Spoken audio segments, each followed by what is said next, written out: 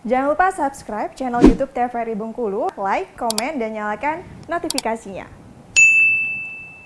Ya, Saudara Dinas Pertanian Kaur keluarkan surat rekomendasi BBM bersubsidi untuk petani dan kelompok tani. Rekomendasi diperuntukkan guna mempermudah petani memperoleh BBM bersubsidi jenis solar dan pertalite di SPBU. Memasuki musim tanam saat ini beberapa kelompok tani sebelumnya kesulitan mendapatkan BBM bersubsidi di SPBU. Sulitnya memperoleh BBM bersubsidi tersebut disebabkan oleh ketatnya peraturan yang diterapkan pemerintah pusat dalam hal mengefisienkan penyaluran BBM bersubsidi di setiap daerah. Untuk mengatasi kendala sulitnya mengakses BBM subsidi ini, Dinas Pertanian Kaur mengambil langkah pendataan kelompok tani yang berada di Kabupaten Kaur.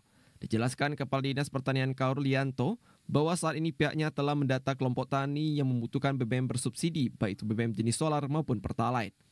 Kadis Pertanian menjelaskan pendataan jumlah kelompok tani ini untuk mempermudah pihak Dinas Pertanian Kaur dalam mengalokasikan jumlah BBM bersubsidi yang akan disalurkan pemerintah ke petani.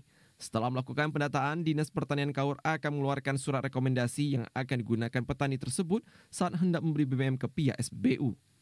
Kadis berharap melalui sistem tersebut ke depannya para petani di Kabupaten Kaur tidak terkendala lagi memperoleh BBM bersubsidi.